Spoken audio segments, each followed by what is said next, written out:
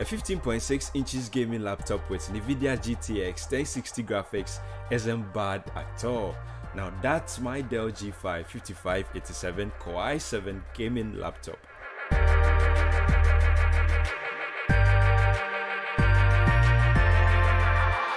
This laptop was released in April 2018, but isn't bad to talk about in 2019. It has a lot of unique features that makes it stand out even in 2019. It is a Core i7 8th generation laptop powered with 12 cores with a 2.2 GHz of speed. Now that's not bad at all. It has 16 GB of RAM, which is DDR4 and supports up to 32 GB. It is equipped with a 256 SSD drive as well as a 1 TB mechanical drive. So it's using the dual storage technology in here.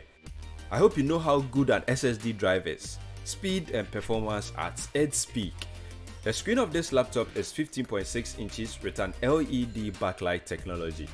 It is a full IPS display which is great for wide angle display whether gaming or watching movies from a distance, it has an awesome experience.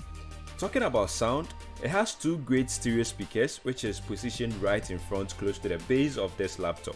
I must say they sound really great and can even be configured to give an immersive sound.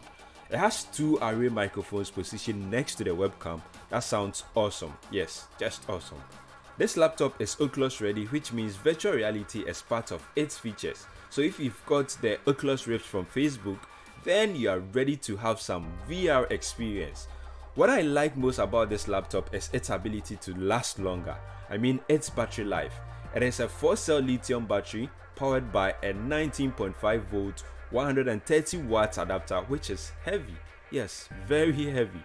The connection and expansions interface are a 3.1 first generation USB ports, which are three, and one is um, power enabled or PowerShare enabled.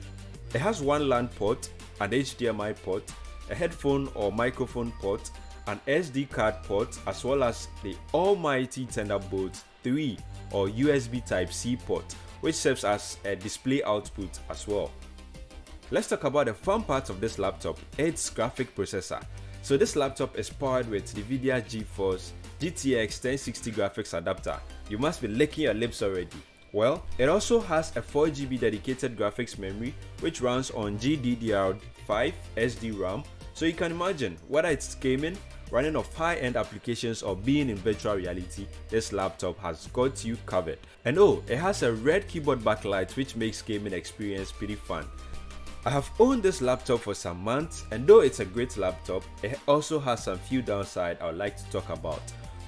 First is the price, it's about 1200 plus dollars with the specs stated in this video.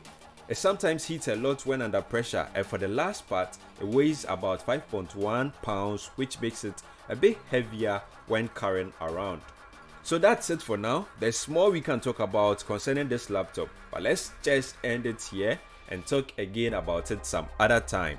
Thank you very much. I'll see you in the next one.